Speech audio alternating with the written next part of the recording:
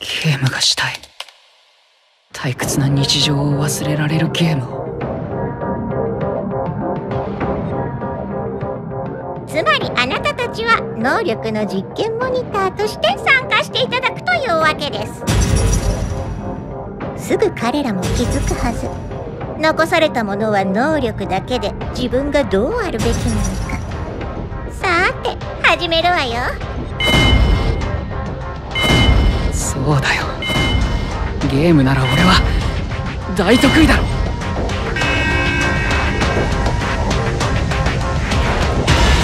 出会って5秒でバトル。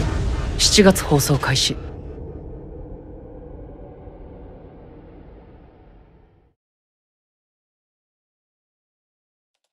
ゲームがしたい。退屈な日常を忘れられるゲームを。